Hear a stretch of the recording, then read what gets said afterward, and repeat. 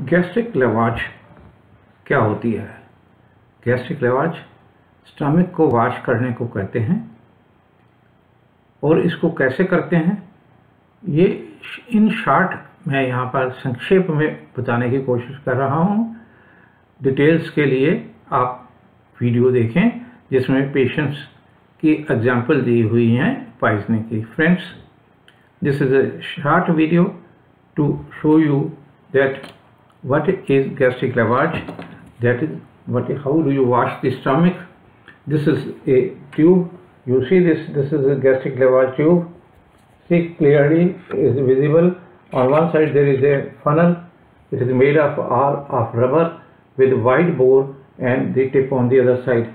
You pass the tube through a mouth gag and then instill fluid into the funnel which goes into the stomach and then tilt the patient and the fluid comes out through the funnel. You repeat it three four times and the, all the contents of stomach are washed out. If you want to see more details of this uh, gastric lavage and many pa patients we have done examples of patients visit my link my visit my video thank you very much